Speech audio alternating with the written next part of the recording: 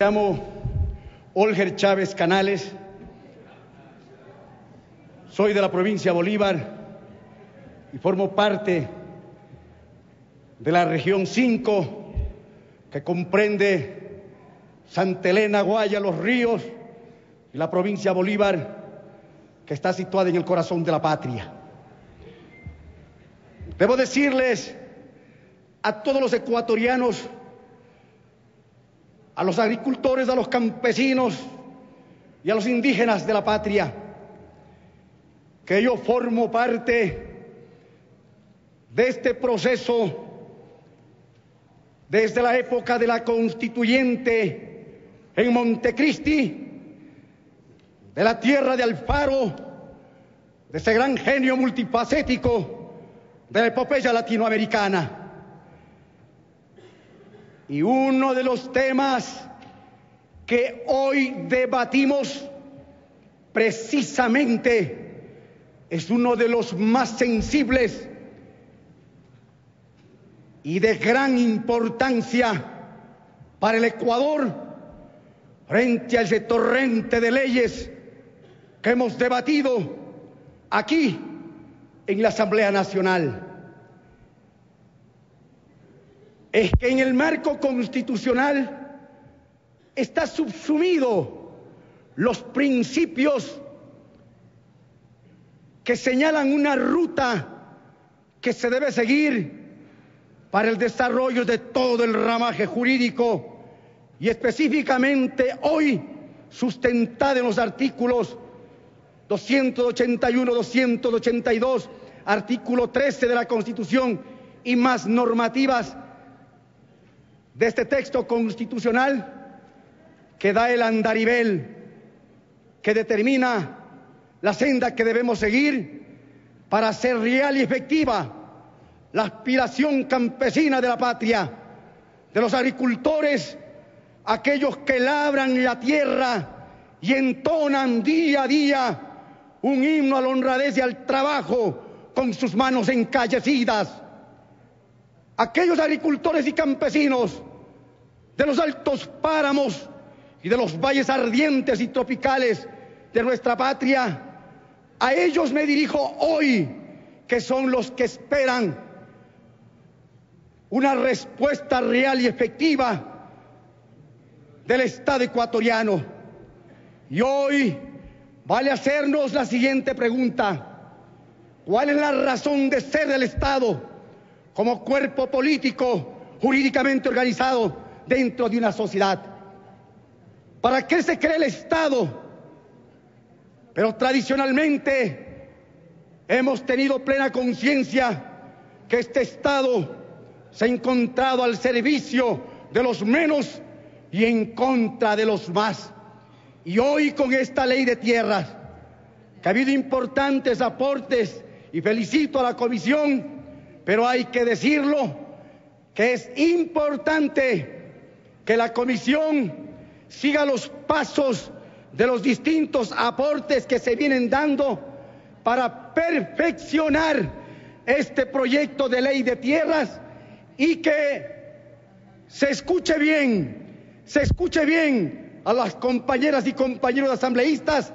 mantengan, mantenga perfecta armonía con el marco constitucional que consagra expresamente a través de la Constitución, que es la síntesis del proyecto político de la transformación de la patria, que la soberanía alimentaria es un objetivo estratégico del Estado y su ruta suprema es la alimentación sana y que cubra toda la gran base de la pirámide social. Y decirles que se prohíbe la concentración de la tierra y está dispuesto por mandato constitucional la redistribución de la tierra, tanto pública como privada. Consecuentemente, es un imperativo se determine un límite a la tenencia de la tierra. Se prohíbe el latifundio y Esta tesis ha sido sostenida milenariamente y recuerdo que cuando era en la constituyente había debatido que en los años 133 antes de Cristo los estos grandes juristas Tiberio y Cayo Graco impulsaron la ley sempronia que determinaba un límite a la tenencia de la tierra. La diferencia era revertida al Estado y el Estado a su vez entregado a aquellos que necesitan trabajar. Y las mejoras introducidas en la misma, asimismo reconocida por el Estado. El Estado debe regular el precio de la tierra. La expropiación respecto a la tierra que no cumple la función social y ambiental está señalada y debe quedar clara la ruta introducida en el proyecto, la reversión de la tierra al Estado. Hay causales que cuando la tierra siendo oculta o inculta cumpliendo o no la función social y ambiental, si excede de sus, límites, el Estado debe cumplir su rol y no actuar con irresponsabilidad. Es indispensable que el país conozca que desde el año de 1964 en la ley agraria está consagrado el precarismo el precarismo, que es la forma de arriendo, de su arriendo de la tierra, debe ser también una de las causales de expropiación de la tierra y reversión al Estado para que él mismo redistribuya a aquellos que la necesitan. La tierra